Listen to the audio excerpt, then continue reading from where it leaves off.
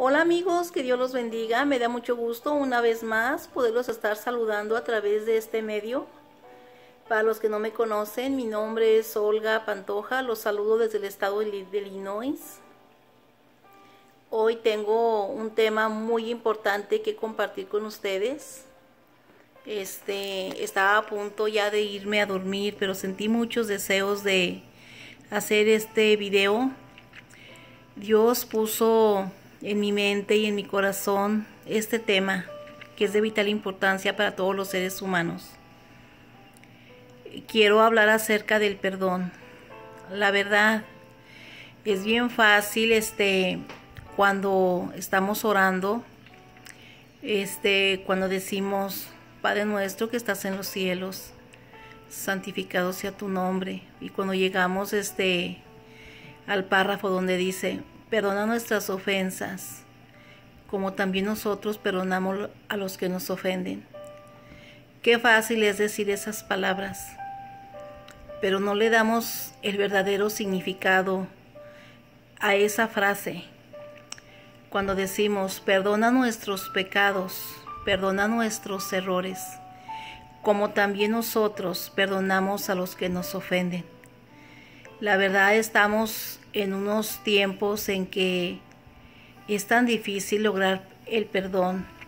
Y yo recuerdo que un día alguien me dijo, perdonar es liberar a un prisionero y descubrir que el prisionero eres tú. En Efesios 4:32 dice que si le pedimos a Dios perdón y nos arrepentimos de corazón, Él nos perdona que manda nuestros errores, nuestros pecados hasta lo más profundo del mar y no tiene memoria. Porque a los seres humanos nos cuesta tanto trabajo perdonar cuando alguien nos ofende.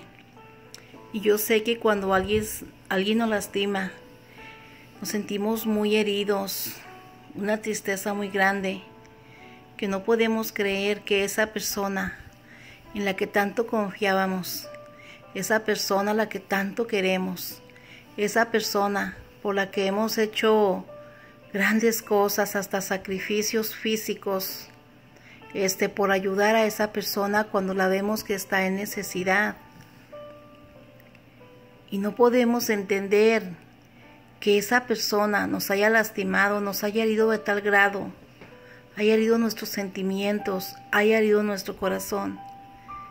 Pero yo sí le voy a decir a usted, si usted que está viendo la grabación de este video y está viviendo una situación donde a usted le está costando trabajo perdonar y por no tomar esa decisión de perdonar, usted vive aislado de los seres que más ama. Muchas veces, por no tener esa fuerza de voluntad y tomar esa decisión de perdonar a alguien que nos ha herido, Estamos desaprovechando los momentos más hermosos de la vida. Yo conozco personas que tienen su corazón tan lleno de egoísmo, de rencor, que no tienen esa capacidad para poder perdonar. Y es muy triste porque eh, cuando tenemos la vida, cuando tenemos la salud, es cuando podemos disfrutar de las personas que más amamos, que más nos aman pero por un error que ellos cometieron con nosotros, este, es como que ya llegó al final, como que he, escuchado a personas que dicen, para mí está muerto y no es verdad. Y cuando la persona verdaderamente pasa otra vida, estas personas se la viven en el cementerio, ahí llorando y llorando, llevando flores y cuidando un pedazo de tierra. Y yo no digo que ir a un cementerio y cuidar un pedazo de tierra o llevar unas flores. Yo no digo que eso sea malo, porque ahí están los huesitos, los restos de nuestros seres queridos. Pero sería más importante que en vida demostremos el amor. Mire, si usted que está viendo esta grabación se siente herido por algo, Recuerde algo, que el único perfecto es Dios, que nosotros somos seres imperfectos. Tome esa decisión de pedir perdón. Hable con Dios a través de la oración. Pídale a Dios que le dé esa fuerza para ir a buscar a esa persona y perdonarla. Mire, haga de cuenta que usted tiene un cuaderno, una libreta y usted tiene unas líneas con un pincelín negro. Haga de cuenta que agarra un borrador de un lápiz muy bueno y las borra. No siga desaprovechando los momentos más hermosos con esas personas eh, con las que usted tiene resentimiento. El que está perdiendo es usted.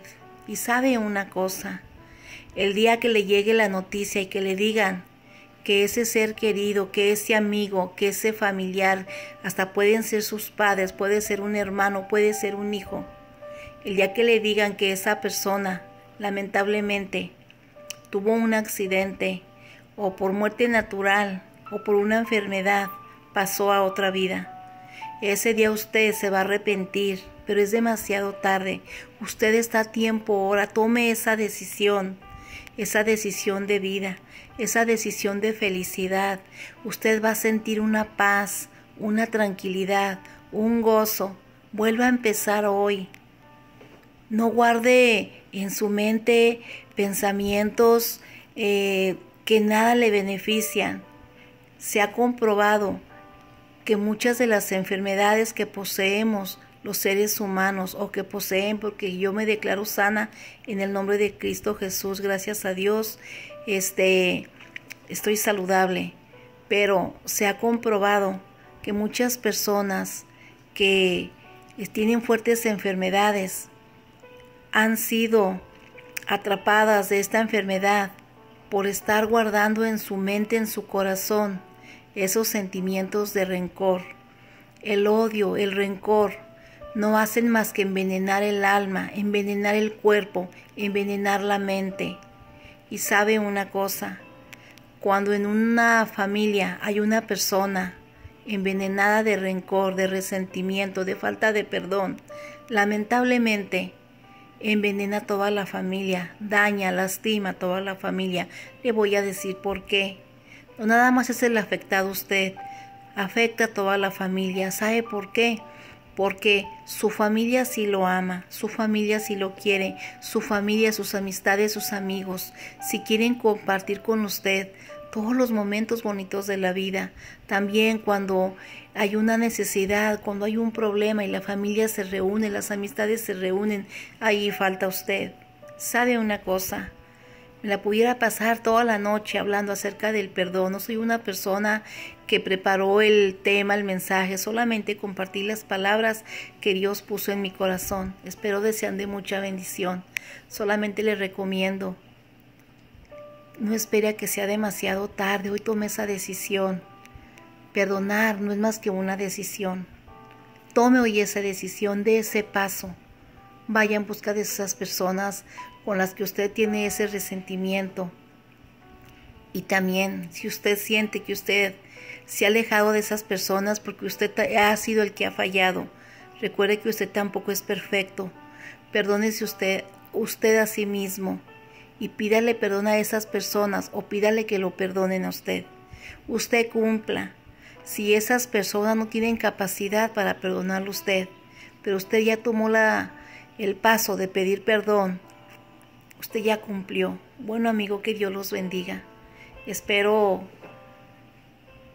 les sirva de bendición estas palabras que Dios puso en mi corazón. Que Dios los bendiga. Los quiero en el amor de Cristo.